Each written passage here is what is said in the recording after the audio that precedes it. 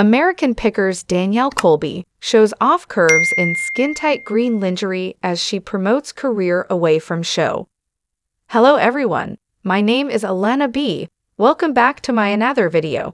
I hope everyone is having a wonderful day. Before starting the video, please go ahead and hit the subscribe button.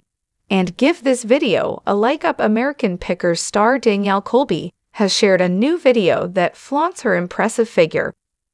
The 47-year-old posted the video on her Instagram feed on Thursday morning. In the clip, Danielle gave fans a sneak peek of what they can expect at her upcoming show in Chicago, Illinois. She wore a gorgeous green burlesque outfit with silver accents and large green feather fans. The top of her sexy outfit was a low-cut halter top that transitioned into an ultra-tight corset.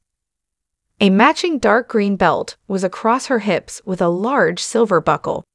American Pickers Mike Wolfe flees home for road trip as he plans to retire American Pickers Mike snubs Hometown Festival despite urging fans to join him. Finally, there were light green tassels coming down from her belt and covering her butt. The American Pickers star was also wearing a large silver headpiece that looked like wings on both sides of her head. She captioned the post, Here's a little preview of what you'll be getting at at Reggie's Live at Riot underscore Fest after the show. It's gonna be dope. Plus, you can't beat the lineup of amazing performers. Get your tickets now. Pete and girlfriend Madeline stayed alone together overnight during Vegas trip. GMA replaces Michael Strahan with beloved host as star Mrs. Morning Show. Danielle recently announced her event in Chicago where she'll be headlining a burlesque show.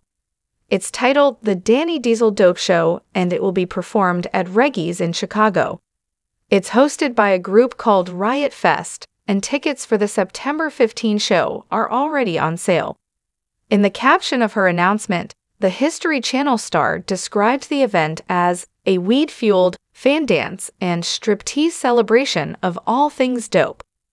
The show will feature a variety of different burlesque dancers, and Danielle will be the main event. Dancers from Chicago and Puerto Rico, where Danielle has also performed, will be featured in the show. In addition to burlesque, the television star promises pole dancing, fire eating, sword swallowing, circus arts, contortion, and more. A source exclusively revealed to the U.S. Sun that Danielle only appears at the Iowa Antique Store to film for the show. Danielle is the shop manager of Mike Wolfe's store Antique Archaeology in Iowa and Nashville, Tennessee. Her position is intended to oversee operations in the shops, find leads for the pickers, and discover her own antiques.